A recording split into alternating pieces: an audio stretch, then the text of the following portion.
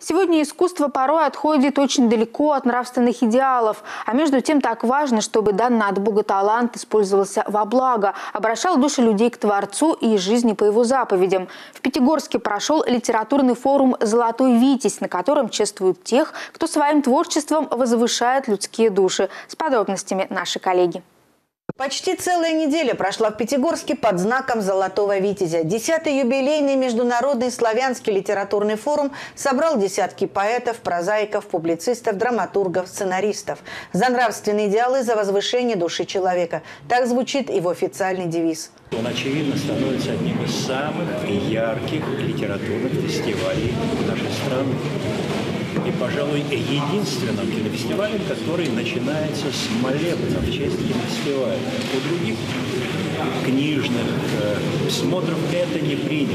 А «Золотой Витязь», он действует в традициях нашего культурного пространства российского. В литературном Пятигорске форум традиционно начинается в день рождения Лермонтова и проходит параллельно с лермонтовскими праздниками поэзии. Но в этом году посвящен Пушкину, 220-летию со дня рождения поэта. Высшая награда «Золотого Витязя» – золотая медаль имени Пушкина за выдающийся вклад в литературу в 2019 году присуждена двум литераторам – писательнице и этнографу Галине Медведевой и секретарю правления Союза писателей России, писателю, поэту и драматургу Константину Скворцову, которых представили на пресс-конференции в молодежном центре Спасского собора. Вначале было слово, напомнили на форуме. Понимание того, что литература служит слову, и слово служит литературе России, конечно, всеобъемлюще доставляет нам и ответственность, и радость, и обязанность работать на небо на слово.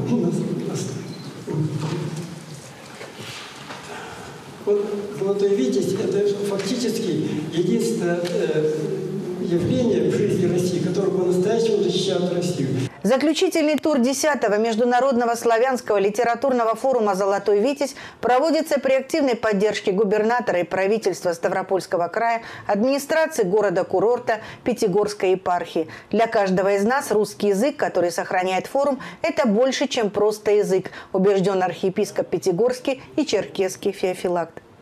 Форум сохраняет свои традиции и, более того, расширяет их своими замечательными гостями. Вы, Николай Петрович, только что сказали о том, какое количество ожидается гостей интересных встреч.